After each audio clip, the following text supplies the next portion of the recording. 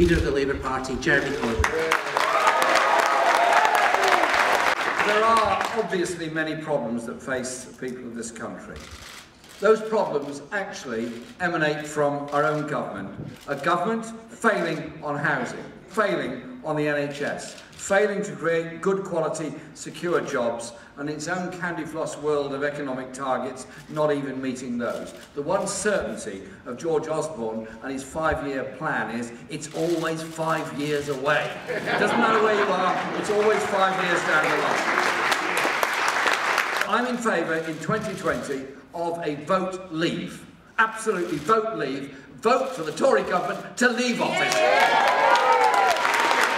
I thanked all those that tried to bring in a European-wide protection of the steel industry, but at every turn, it's the British Tory government that has opposed any anti-dumping measures and allowed it to continue and allowed our own steel industry to be so grievously damaged. One British industry that is absolutely thriving and indeed they're promoting it all around the world. It's called the tax avoidance industry.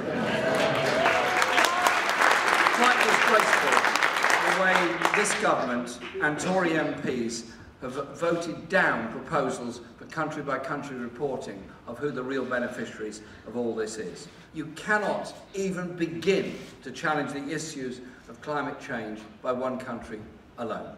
We either send pollution to Europe or receive pollution back from Europe. So those that say, leave, do it all on your own, well, it don't work like that. Because you know what happens? I'm really alarmed about it.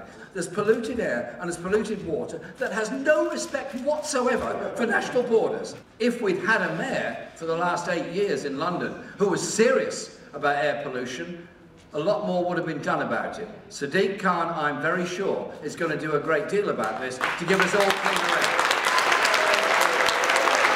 This Tory government wants to repeal the Human Rights Act. There are many who want to leave the European Convention on Human Rights. At the end of the Second World War, the realization of the horrors of war led us to those international agreements.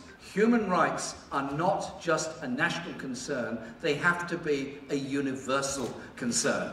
Do we work with people or do we walk away from people?